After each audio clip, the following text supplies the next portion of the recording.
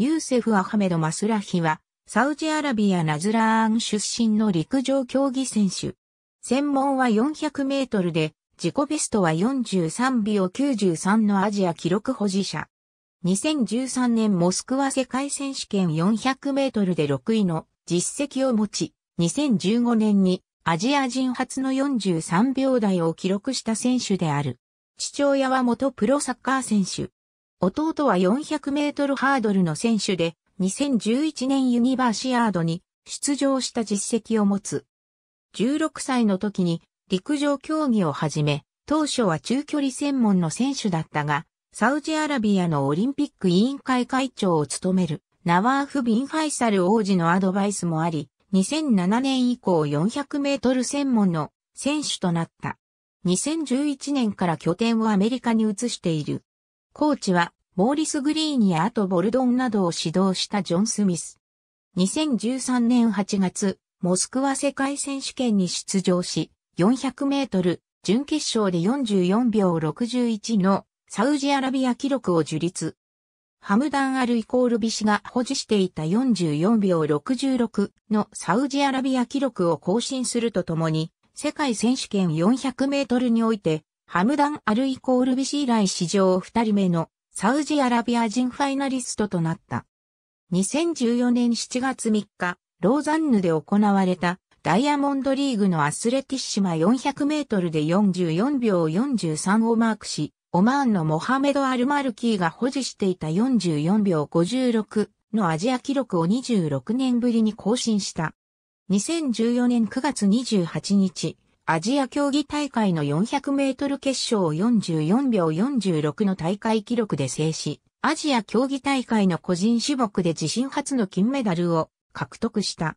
従来の大会記録である44秒93を大幅に上回り、自身の持つアジア記録に0秒03と迫るタイムだった。2015年8月、北京世界選手権に出場し、400メートル予選で43秒93のアジア新記録を樹立。大会前までの自己ベストである44秒43を大幅に更新し、アジア人初となる43秒台をマークした。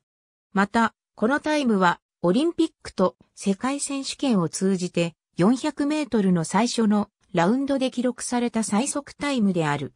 準決勝でも大会前までの自己ベストを上回る44秒40をマークして決勝に進出したが、決勝ではタイムを落とし45秒15の8位に終わった。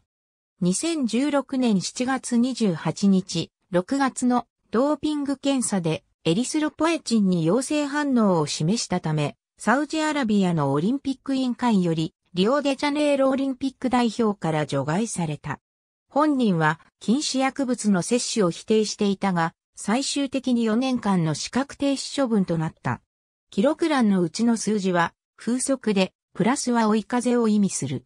備考欄の記録は、当時のものダイヤモンドリーグの総合成績を記載。獲得ポイント欄のうちは出場したポイント対象レースの数を意味する。優勝したダイヤモンドリーグ個人種目の成績を記載。金色の背景はポイント対象レースを意味する。AB 選手プロフィール。2014年アジア競技大会。2015年1月6日閲覧。AB バイオグラフィカルスタートリス面国際陸上競技。連盟2015年1月6日閲覧、レポート、メン S400 メートルセミファイナルズモスクワ2013、国際陸上競技連盟、2015年1月6日閲覧、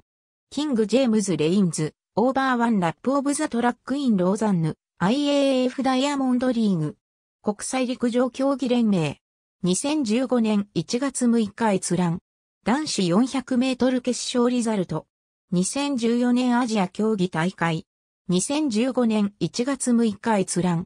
レポート、メン S400 メートルヒーズ、IAF ワールドチャンピオンシップス、北京2015。国際陸上競技連盟。2015年8月23日閲覧。男子400メートルのアジア記録保持者、ドーピングで、リオ五輪選手団から除外。フランス通信社。2016年7月29日閲覧。Athletes currently suspended from all、competitions in athletics following an anti、doping rule violation as at 27.09、16。国際陸上競技連盟2017年2月6日、閲覧、ありがとうございます。